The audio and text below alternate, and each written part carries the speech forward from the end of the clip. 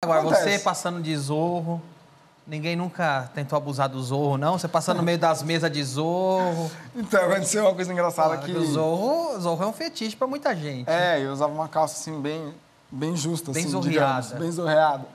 E aí eu tava assim, fazendo, cantando uma música, tá? Se Tava puder mandar foto pra gente ilustrar, vai ser ótimo. E aí? E aí eu tava cantando uma música e eu senti uma, uma mão me apalpar. Isso realmente aconteceu, assim, de verdade. E aí, na hora, você...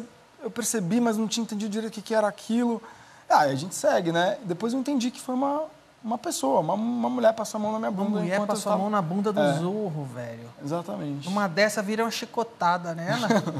Não, e na hora você tá lá meio nervoso, meio fazendo o seu trabalho ali, pensando em um milhão de coisas ao mesmo tempo.